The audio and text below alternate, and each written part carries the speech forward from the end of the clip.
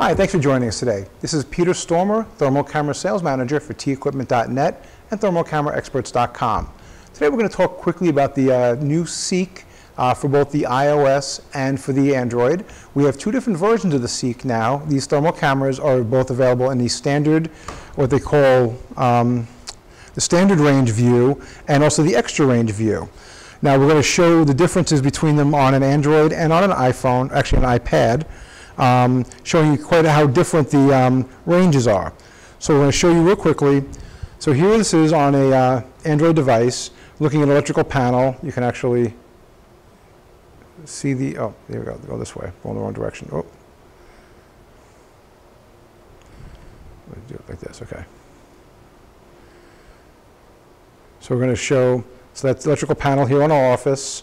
So we're just taking a look at it see how it looks thermally.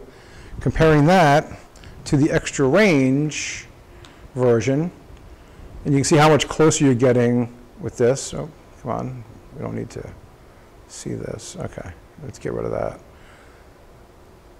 And you can actually see, again, the visual. Look at how close up that is, that panel. You can see how much extra zoom you're getting with this compared to the thermal camera. And let's hold them up side by side, and you can see how much more close-up you're getting.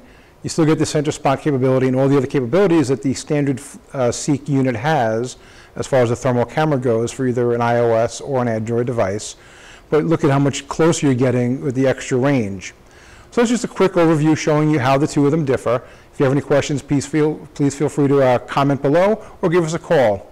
Thanks very much and have a great day.